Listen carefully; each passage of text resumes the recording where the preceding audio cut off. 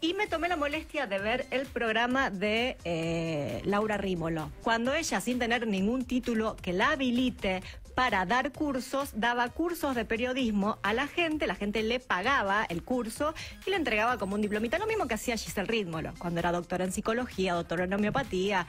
Bueno, más allá de que Rímolo ma- mató un paciente, eso déjalo aparte. Yo hablo de la truchada, ¿no?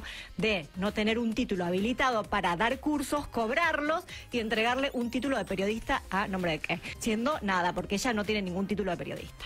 Descostillada de la risa con el programa la señora Ufal. Es mala al- en el sentido de criticar o, se ensaña con alguien y le dale, dale, dale, dale. da. Más allá de eso que de... bueno.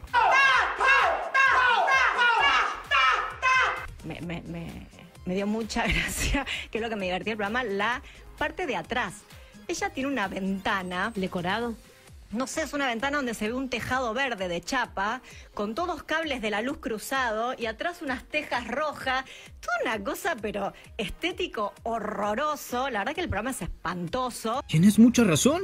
Yo acá no estoy diciendo nada malo, estoy dando una opinión como periodista. enojada. no, una No. opinión como periodista con título después de haber visto un programa que es espantoso. Después tienen por esos dos de Keiko que le siguen el juego a ella, que nada, le, le- le tienen que chupar el- las medias porque no le queda otra que asentar todas las maldades y pavadas que dice la Ah, UFAL sentada en el programa.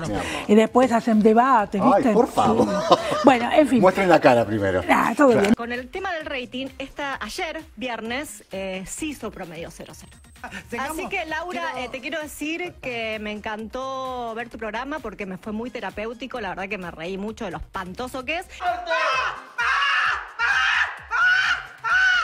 Y voy a hacer todas las semanas tu rating, te lo voy a dedicar a vos con mucho amor. Bueno, a y tengo ¿no? un título que me lo dio el ministerio, avalado por el Ministerio de Educación, que me avala sentarme acá como periodista. Es la radio más importante de la Argentina. Hace seis años que estoy sentada acá, que me contrata, que me elige y me sigue eligiendo.